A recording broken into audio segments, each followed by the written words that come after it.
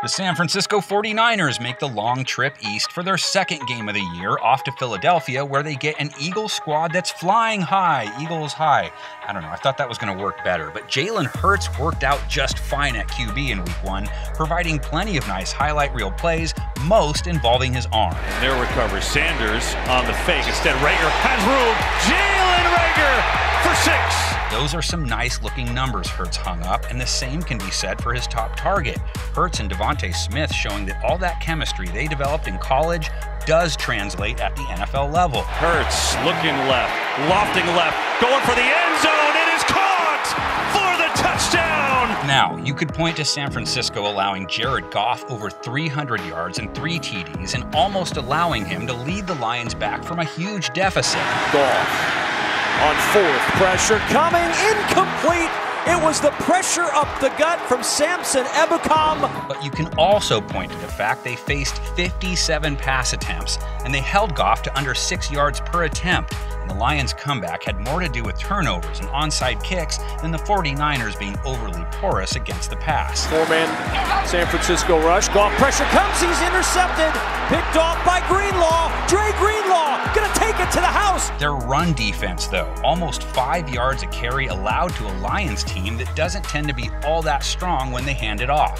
Second down. Williams gaping hole up the middle. And Williams into the secondary and down. Eagles, on the other hand, look like they could be one of the best at toting the rock this year. Hurts and Miles Sanders both breaking off plenty of big runs. Sanders cuts back to the right. No one there. Miles Sanders up to the 40 and out near the 45.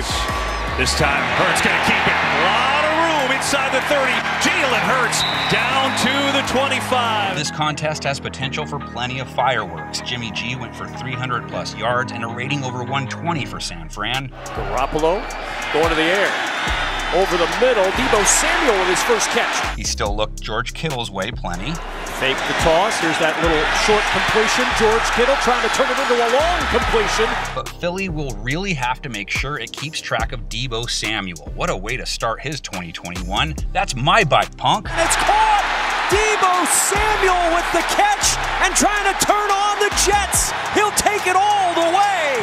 Though, just took care of business against a passing attack that had plenty of weapons. Their play against the pass last week overshadowed by how Hurts played, but hopefully Nick Sirianni handed his DB corps a game ball for how well they play. Ryan throwing over the middle, pitch, hit, incomplete. Maddox with a good shot on him, and it falls to the ground incomplete. Oddly, based on last year's numbers anyway, Philly didn't handle the run game all that great, and it's not like Atlanta is a run heavy team either. Second down. Patterson again. Good cut. Cordarrelle Patterson still has the speed into Eagles territory. The 49ers, though, are a team that likes to keep things low to the ground and may do so even more after seeing what Elijah Mitchell is capable of. Play Mitchell. Mitchell with a flag down into the secondary, breaks a tackle and Mitchell all the way for the touchdown. And as we saw, when you prep for the Niners, you have to be ready for a little Trey Lance to be sprinkled into the mix. Lance off the play fake, first pass, and it's a touchdown. It's the battle of the unbeatens. I just wanted to beat everyone to the punch before that gets typed into the comments section and gets like a million thumbs up like the guy who types in every team's floor is 0 and 17 and their ceiling is 17 and 0 and it still gets laughs. I don't get it but in the end, I don't get much of anything. I do get that this is the end of the preview, and that means it's time for some score predictions.